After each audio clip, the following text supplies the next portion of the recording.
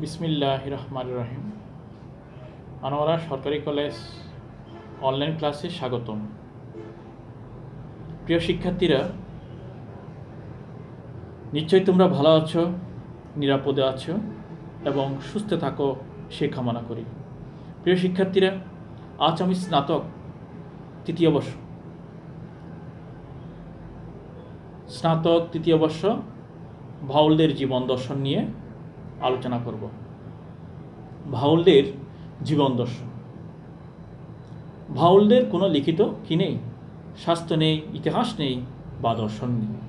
তারা কোনো প্রশ্নের সঠিক উত্তর দিতে পারে না। পারে না বা দিতে ইচ্ছুক নয়। এর প্রধান কারণ হয়তো তাদের পুরাতন বৈষম্যভিত্তিক শাস্ত্রের প্রতি অবিশ্বাস্য অনীহা এবং নতুন স্বাস্থ্য প্রণয়নের প্রণয়নের প্রতি অনাস্থা। শিক্ষার্থীরা, মানুষের হাতে তৈরি স্বাস্থ্যের হাতে মানুষ বন্দী হয়ে যাওয়া প্রবলভাবে তাদের স্বাস্থ্য বিমুখ করেছে।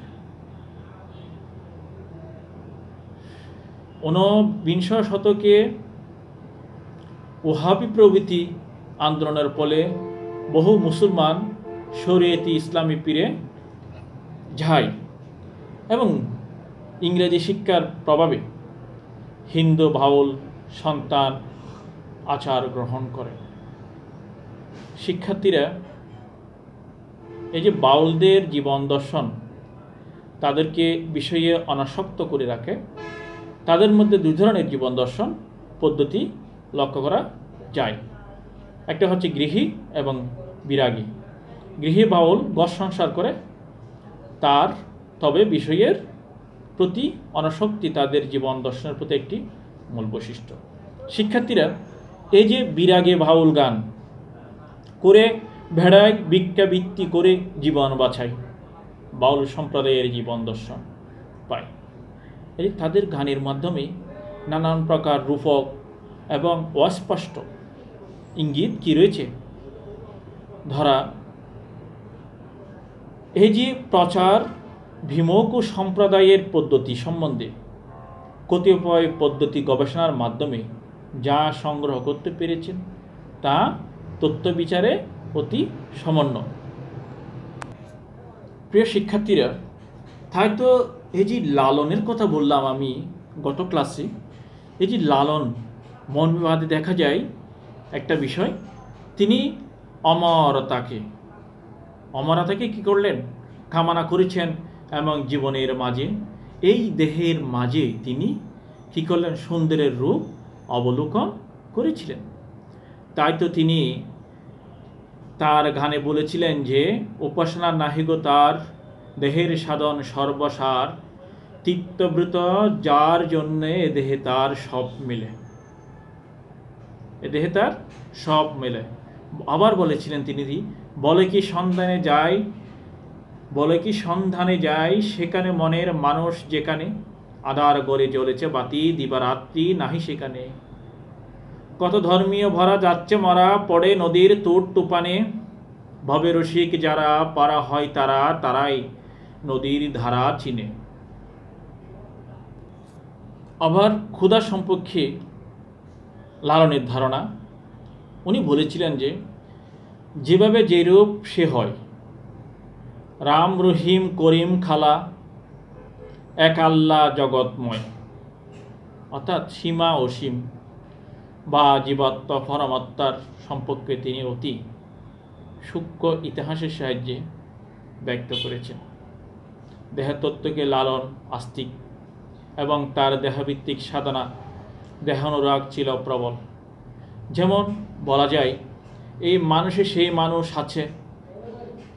আমার হইল কি ভ্রান্তি মন, আমি ভাইরে খুঁজে ঘরের ধন, একবার আপনারে চিনলে পারে যাই অছনারে চেনা। মূলত বাউল সাধনার সংকেত দিতে কি লালন তার গানগুলো রচনা করেছিলেন। প্রিয় শিক্ষার্থীরা প্রিয় শিক্ষার্থীরা, এই যে বাউলবাদের কথা বললাম বাউল সম্প্রদায়ের সাধক হচ্ছে সাধন পদ্ধতি প্রধানত দেহভিত্তিক।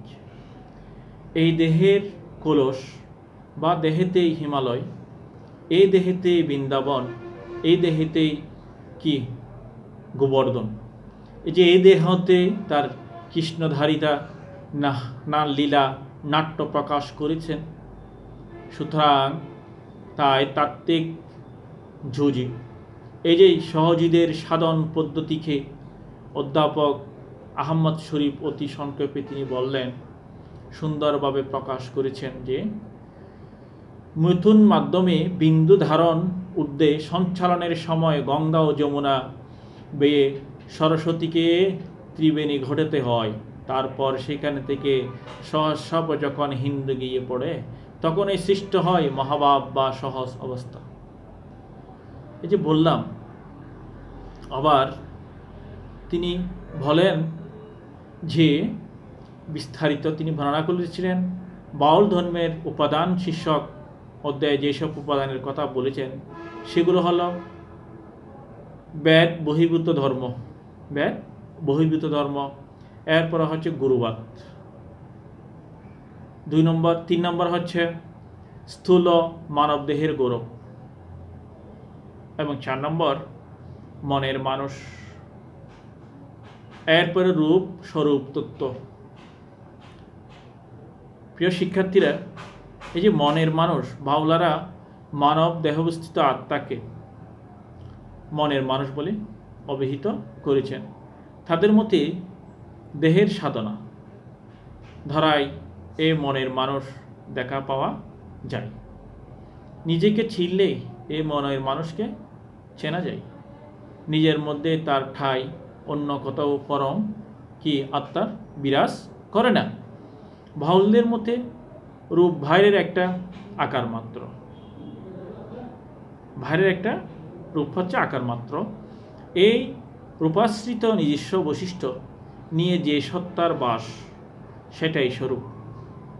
একজন সার্থক বাউল গানের সাধনার মাধ্যমে পুরুষ এবং প্রকৃতি মিলনকে কি করে? পরিপূর্ণ করে। এই উপায়ে সে এমন এক অবস্থায় উন্নীত হতে পারে, যে অবস্থায় সসত্বের যথার্থ বা প্রকৃত রূপটি সে প্রত্যয়ন করতে সক্ষম হয়। বাউলদের সাধনার মূল উদ্দেশ্য হল রূপ থেকে স্বরূপে উত্তীর্ণ হওয়া। সাধনার মাধ্যমে সেই স্বরূপের দেখা পেয়েছেন।